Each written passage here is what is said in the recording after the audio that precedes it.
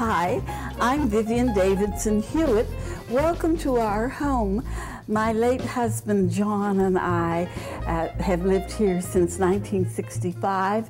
We planned this house exclusively for art and for books. I'm a librarian by profession, and he was a medical science writer. And what you're looking at now is our second art collection, the first and major one having been purchased some years ago by the Bank of America and has traveled throughout the United States, northeast, south, and west, and will eventually find its permanent home at the Harvey B. Gantt uh, Cultural Center in Charlotte, North Carolina. My husband and I were not in the art business of promoting art. It happened quite accidentally. Al Hollingsworth, one of the artists in the Hewitt collection, happened to be here for a social gathering of some kind. I didn't know him, but he was a guest of one of the people. And he looked around this room and he decided that, he said, Mrs. Hewitt, this would be a good place for me to have an art show, show my art. And I said, this is our home. We live here. This is not a gallery. Al had a rejoinder, an answer for everything that I said. We gave Al Hollingsworth a show on a Sunday afternoon in May. We took down all of our paintings and hung all of his. He later told me that he sold as many works of art in one Sunday afternoon than he would sell in a gallery in a year. Al Hollingsworth showed us that our home could be a venue for them. We did shows subsequently over the years for Hale Woodruff, for Dr. Eugene Grigsby, and for Ernest Crichlow.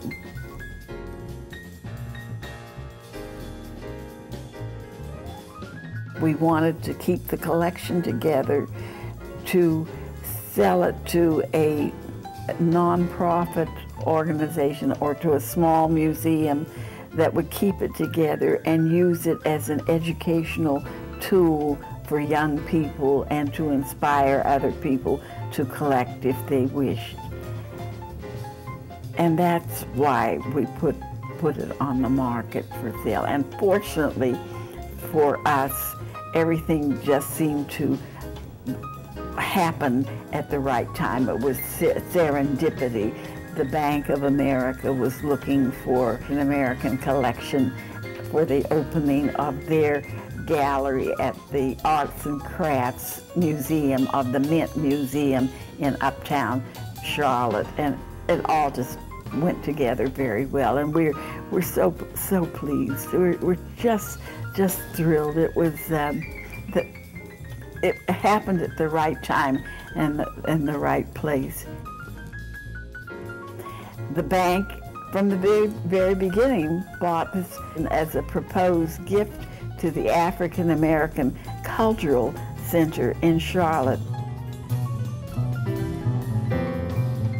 At the Hewitt's home, it was um, a, a very warm and um, comfortable atmosphere. When you entered their home, you would enter a, a, a kind of a double room with a double height that was um, a wonderful place to exhibit art. And all their hallways and uh, stairwells and so forth were covered with paintings.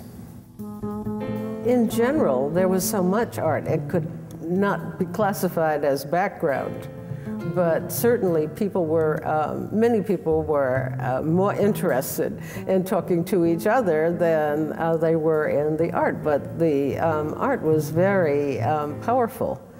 And so I, I think that uh, people would ab absorb these wonderful paintings and drawings and, and etchings um, as um, uh, they were moving around the, the Hewitts' home. I don't think the Hewitts would be considered typical collectors because they carried their collecting on over a period of probably close to 50 years.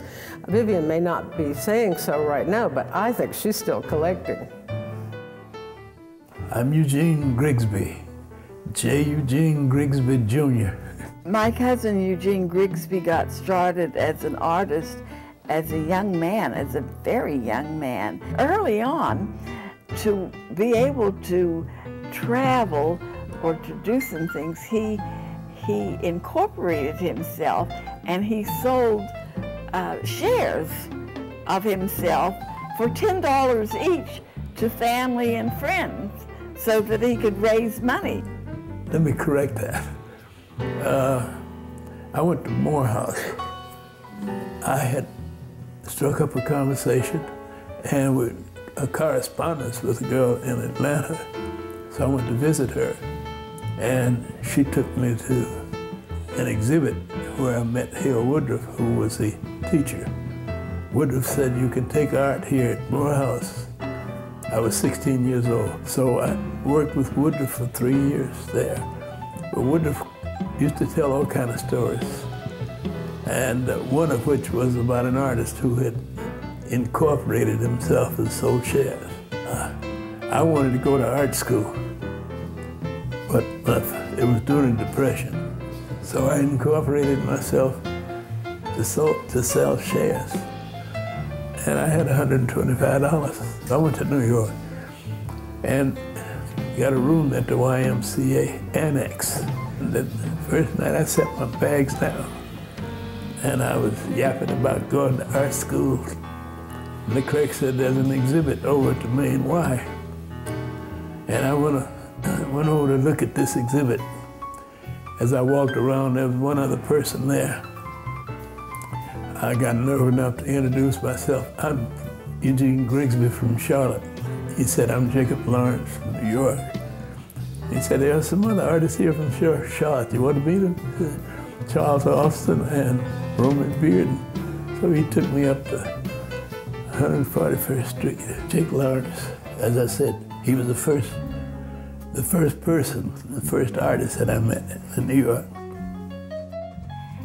And when Eugene was studying summers on his doctorate, he introduced my husband and me to Hale to Spinky as we got to know him, Charles Alston. I met Romare Bearden through my cousin, Dr. Eugene Grigsby, because we would go, when Eugene would come in town from Phoenix, we would go to the, to the house and studio on Canal Street. And then I became very friendly with his wife, Nanette, who had been a former model and who, who at the time was running the Nanette Bearden Contemporary Dance uh, School uh, group. I have a poster sign uh, that Romare Bearden designed for uh, Nanette's Contemporary Dance group, and it is signed by both Romare Bearden and by Nanette Bearden. Jamming at the Savoy by Bearden is one of my all-time favorites. And I gave that, I believe, to my husband for a birthday present. I think African American art is something very personal for everyone. Everyone sees it and uh, does it in a different way. African American art is presented in an abstract form. Sometimes it's presented in a figurative form. So everyone does their own thing.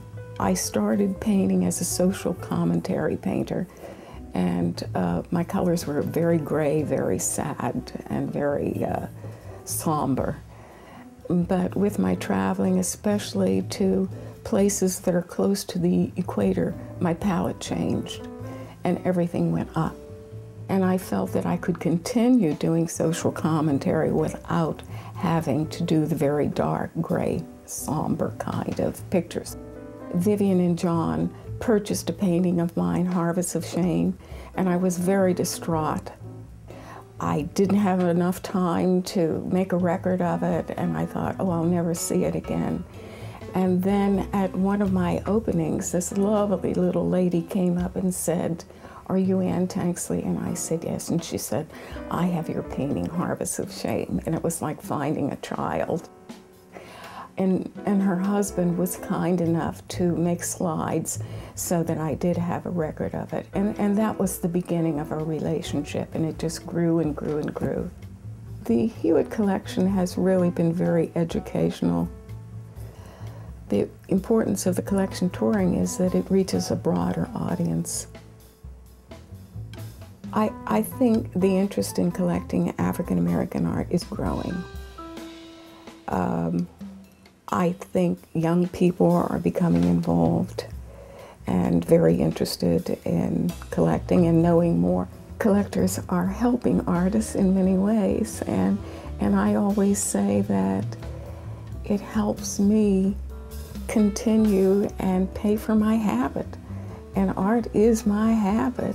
And so I can frame and I can travel and, and I can do many things as a result of people supporting me. The Hewitt Collection is, in my estimation, one of the most important current collections of African American art. And the importance for me is that the Hewitts have been collecting for almost 50 years. So they have seen a tremendous body of works by African Americans. She herself is a librarian and he a physician and they traveled around the world, particularly Africa and the Caribbean. So they have an incredible eye in terms of selecting works of African American artists and they're also very good with selecting works by up and coming artists. What I do find most uncomfortable is that children going into our museums, particularly African American children, and there are no imagery of African American people in our mainstream museums. There are imagery of African people, of Asian people, of Native American people, of Euro American people, but very few imagery of African American people, which is a very distinctive culture of people. So the Hewitts have been a beacon for introducing the artists to the communities, introducing the artists to the collectors, helping the collectors to understand that they have to continue to collect, to continue to bring the new artists and therefore the new voices of art expression into the mainstream community. It's given the artist in the collection the opportunity to have been seen and viewed across this country, north and south, by hundreds of thousands of people in a variety of communities. I've always said that there are two things that parents, two legacies that they can leave to their children, and in effect, these were our children. You give them wings and you give them roots and the ba bank has given them wings because it's been to 20, about 25 venues, and it will have roots in North Carolina where my roots are, and I think it's just exactly right